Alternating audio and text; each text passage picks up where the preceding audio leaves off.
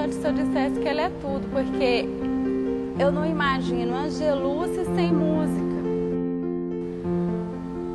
Eu não imagino a, a minha vida toda estar rodeada de música.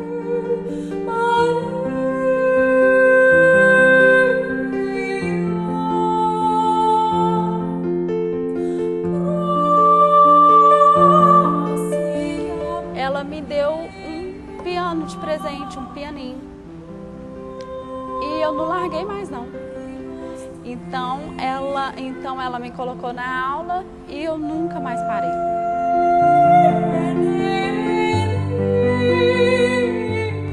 Eu me sinto plenamente realizada tocando em cerimônias de casamento. Eu gosto disso.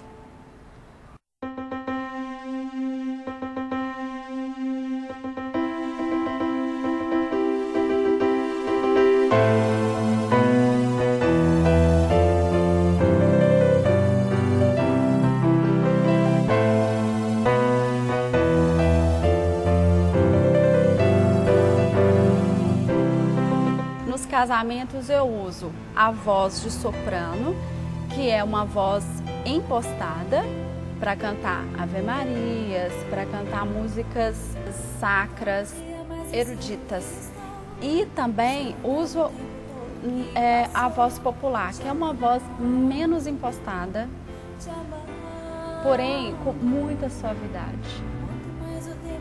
Sempre com muita suavidade. Meu amor aumenta mais amor, você te amo, te amo, meu amor. Hoje em dia, com a tecnologia, os sons dos pianos digitais estão muito próximos dos pianos acústicos. Então, o casamento fica fica perfeito do mesmo jeito. E com a facilidade que você pode interagir ali com outros sons, por exemplo, eu posso mesclar piano com violino, piano com flauta, para ter diversidade sonora.